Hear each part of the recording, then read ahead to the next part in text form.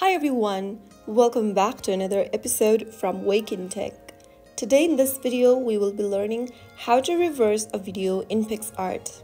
To reverse a video in PicsArt, first of all, open up your PicsArt application and also make sure you have the latest version of PicsArt app installed on your device. Once you open up PicsArt, go to the bottom of the screen and tap the plus button and this will take you to your photo or your video library from your device. Go to video option from the top and then select a video from your device's camera roll. After choosing a video, tap on the arrow at the bottom right to end up in the editing page. After you are done, tap on the video layer on the screen and then go to the bottom menu. There you will be able to see the reverse button. Remember that in order to reverse in PicsArt, you'll first need to have a PicsArt premium subscription.